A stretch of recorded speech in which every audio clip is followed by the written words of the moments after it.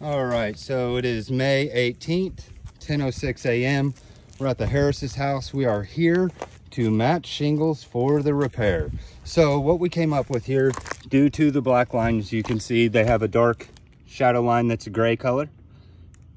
Came up with an Atlas. Pinnacle Pristine is the shingle that they have on here. So we went ahead and grabbed some of them. want to go ahead and give you a comparison here. So let's start with the new shingle. The new shingle you can see here has a six inch exposure with a 42 inch width as noted right there. And you're gonna see the new one, five and three eighths, 38 and a half, as noted here.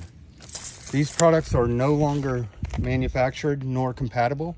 Due to this, we are asking for a new roof. We wanna go ahead and show you one more time where the damages on the roof are. So this would be your right elevation. You got some on your front. Spin around here to your left elevation, you see it, and then on the back elevation. So all elevations have sustained wind damage. We can't get a shingle that is compatible to go with the roof. Due to this, we're gonna have to do a new roof.